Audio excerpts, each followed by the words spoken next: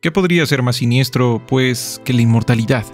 Lo inmortal es lo inverso de lo eterno, pues la eternidad es un presente absoluto. El tiempo no existe. La inmortalidad, por el contrario, es el paso del tiempo, la conversión del anhelado futuro en pasado, la purificación y el horror, sin fin. Ernesto Sabato, 1963. A medida que va apagándose el sueño de lograr la vida eterna a través de los dioses y las religiones, los que anhelan escapar a su destino final comienzan a mirar hacia la ciencia. Si bien no es como que podamos decir que mañana ya se va a encontrar el elixir de la inmortalidad, este es un tema que cada vez es más y más común. Desde aquellas empresas a las que la gente les paga una fortuna para que sus cuerpos sean congelados criogénicamente con la esperanza de que un día puedan volver a la vida con los avances tecnológicos de un futuro lejano, los proyectos de rejuvenecimiento celular en los que está invirtiendo Jeff Bezos y hasta el polémico debate que está comenzando dentro de la comunidad científica, donde proponen que no existe tal cosa como fallecer por causas naturales, por lo que entonces se debería de luchar contra la idea de que el ser humano debe de tener un tiempo de expiración, y por lo mismo, el envejecimiento no es algo digamos natural, sino más bien una penosa enfermedad que debemos de curar sí o sí. Por esto más que nunca hay que preguntar, ¿Estamos ante una caja de Pandora? ¿De verdad el ser humano y su mente están preparadas para ese abismo que es el tiempo cósmico? Es que, de verdad, no es necesario pensar mucho en el tema para que aparezcan todo tipo de preguntas inquietantes que incluso pueden llegar a rozar el horror cósmico como el que algún día escribió Howard Phillips Lovecraft. En fin, este video se va a tratar de las inquietantes posibilidades de que el sueño de la inmortalidad se haga realidad. Un anillo para gobernarlos a todos. Empecemos por lo sencillo. Como saben, en los libros de Tolkien, los elfos son inmortales, seres que suponemos que por estar encima de la muerte también deberían de estar sobre todas las cosas, pero no. Tolkien nos muestra que irónicamente son frágiles y están condenados a una nostalgia eterna, pues al no poder morir, han visto como los reinos y las eras doradas se encienden y se apagan sin parar por lo que inevitablemente han terminado encadenados a la obsesión de lograr que las cosas valiosas y los buenos tiempos sean tan inmortales como ellos mismos. Justamente, los anillos con los que Sauron logra engañarlos les prometían eso, alargar la plenitud, alargar los años dorados. Creo que Tolkien no se equivocaba. Una sociedad donde la vida no tuviera fin quedaría traumatizada con el fin de todo lo demás. ¿Quién tendría mascotas si supiera que en apenas un suspiro de vida se van a ir? ¿Quién buscaría un amor para toda la vida si esa vida se extendiera más allá de los siglos? Si hay una eternidad para completar las grandes metas y hazañas, qué desesperación, qué pasión podría haber por completarlas. Por lo que entonces, paradójicamente, solo aquello que se extingue, solo aquello que desaparece, seguiría siendo valioso. Me puedo imaginar a miles de seres humanos aburridos viajando a una reserva natural para ver el último ejemplar de una especie a punto de extinguirse, solo por el placer de ver algo que de verdad pues no va a poder volver a verse. Curiosamente, estamos viendo algo similar en la vida real, gracias a que la información, al menos de momento, parece ser inmortal y por lo mismo tenemos el acceso al entretenimiento de otras décadas, estamos viendo algo bastante similar. Una obsesión con la nostalgia, con no perderse eso que no va a durar para siempre, o incluso con forzar a las cosas que ya se acabaron a no acabarse, a volver a empezar, a volver a vivirse como si todavía estuviéramos en los años 80 o en los años 90, Supongo que por algo en la obra de Tolkien, esto que tienen los humanos, fallecer de viejos, no era visto como un castigo, sino de hecho como un atributo especial, algo que los hacía atreverse a lo imposible por ser seres que saben que su tiempo es limitado. En fin, a no ser que después de la inmortalidad también lográramos la eternidad de las cosas, entonces tal vez encontraríamos el destino de los elfos de Tolkien, ser seres que después de perder el miedo de perder su propia vida, comienzan a tener miedo de perder todo lo demás. 2. La Tierra del Nunca Jamás. En los libros de Asimov se nos relata un futuro distante donde como los humanos de otros planetas han logrado vivir más de 500 años, esas personas ya no miden los años que cumplen de uno en uno. Eso ya no tiene sentido, ahora las miden en décadas. La infancia y la juventud ya no es algo que sacaban por ahí de los 18 o 20 años.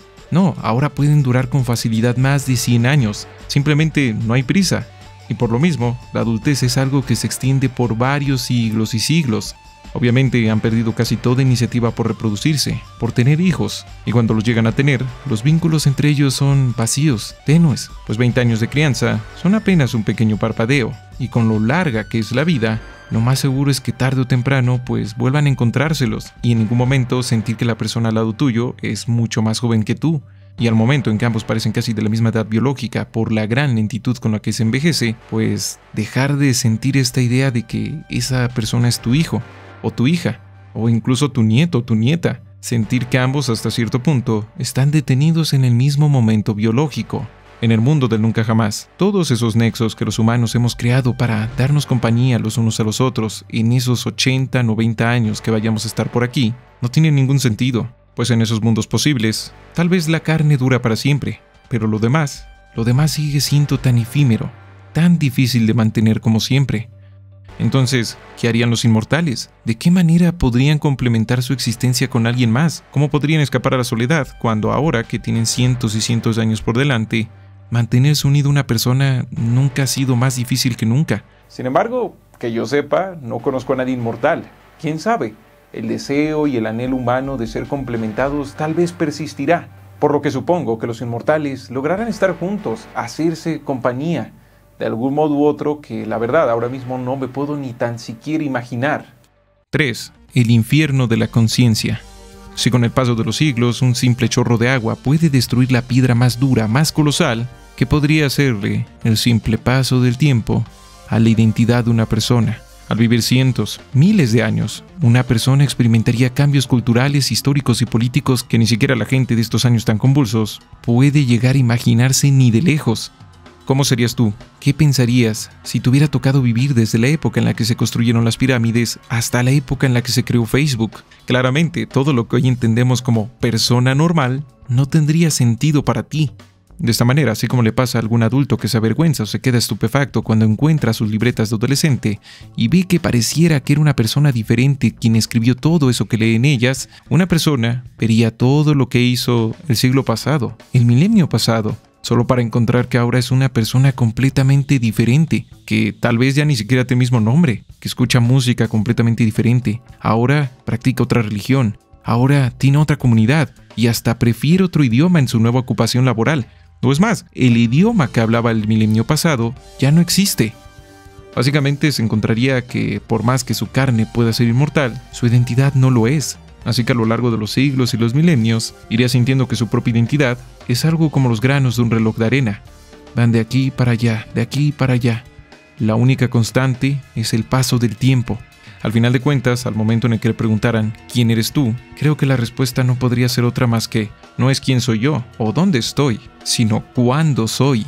Supongo que sería peor aún el caso contrario, que viera que sigue siendo exactamente el mismo sujeto de hace un siglo. Supongo que no podría evitar sentir que no está viviendo, no está haciendo nada con la eternidad.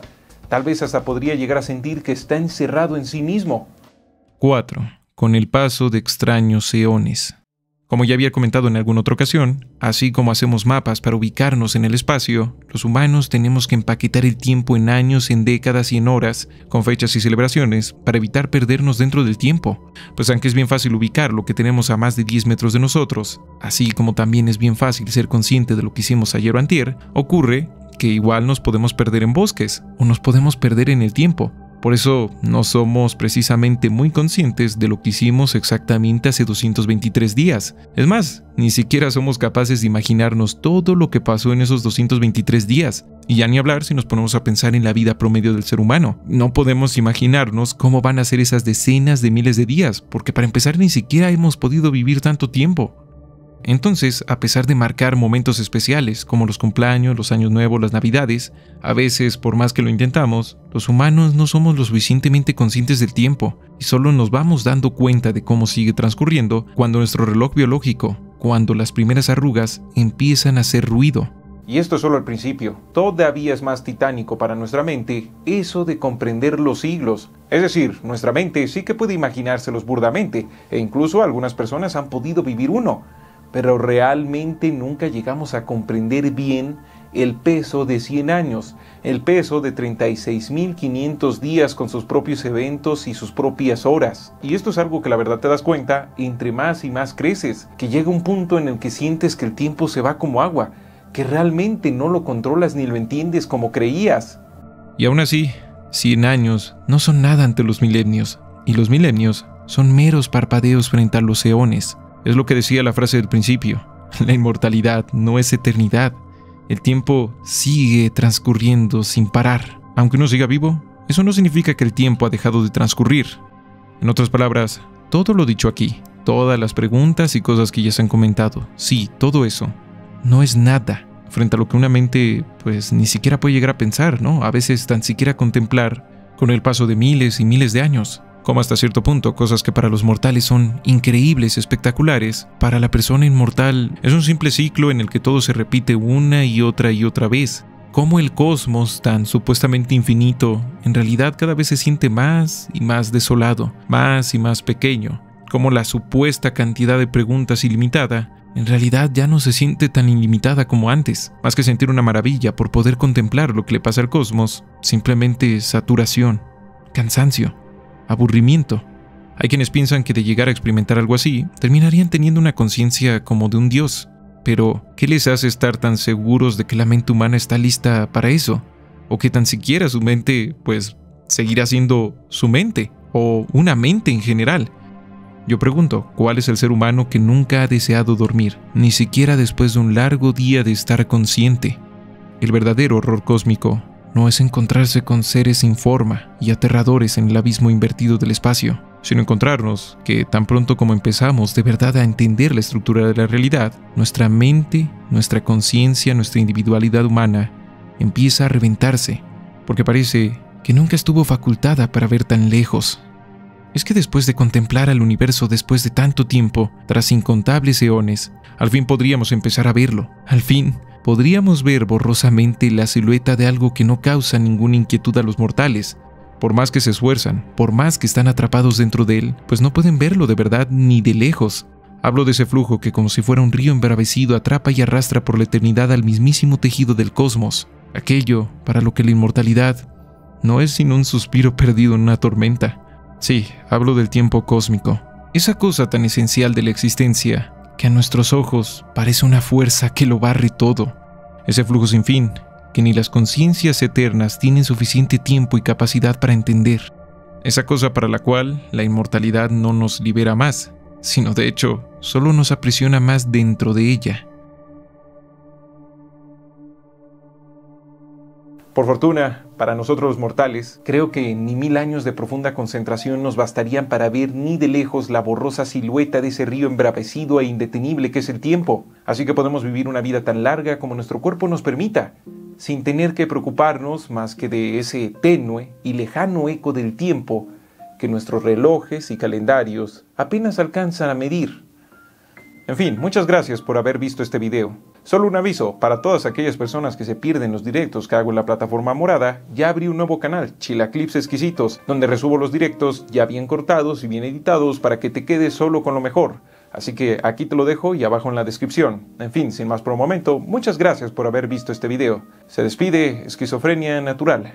La realidad, la realidad es frágil, porque nadie tiene todas las respuestas, ni mucho menos tiene todo el tiempo del mundo para buscarlas.